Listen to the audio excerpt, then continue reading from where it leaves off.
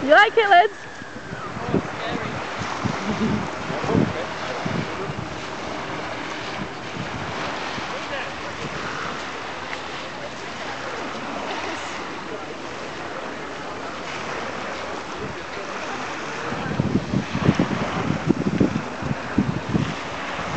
Yeah, give it back.